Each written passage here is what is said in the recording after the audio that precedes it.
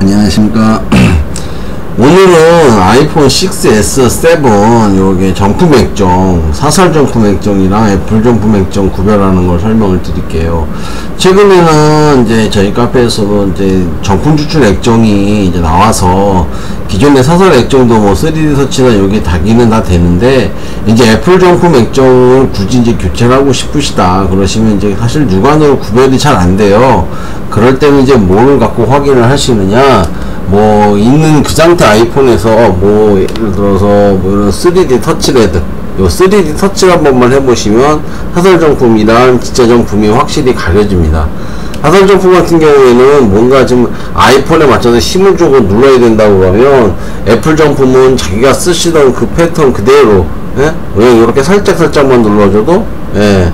이렇게 이제 3D 터치가 되는 예, 그런 현상을 바로 목격을 하실 거예요. 이렇게 예, 이런 이런 식으로 예, 설정에서도 음성 메모 이런 것도 예, 바로 바로 이렇게 메모 이렇게 간단간단히 되는 거를 바로 느끼실 수 있습니다.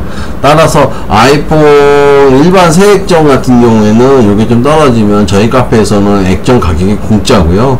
그 다음에 이렇게 정품 추출같이 그 정품 LCD를 사용해서 만든 액정 같은 경우에는 뭐 아이폰 6 같은 경우는 4만원, 아이폰 7까지는 5만원 이렇게 비용이 차이가 좀 있지만 4, 5만원 정도면 정품 추출 액정을 교체하실 수 있고 또 저희 카페 내에 와 사다 쇼핑몰을 이용하시거나 하시면 또 액정 구매도 가능하고 또 액정 깨진 액정 요거 액정 정품 추출 액정 구매하시면 예, 깨진 액정도 매입해드리니까 자세한 건 카페에 가입하시고 확인하시면 될 거 확인하시면 공지사항 같은데 확인하시면 됩니다.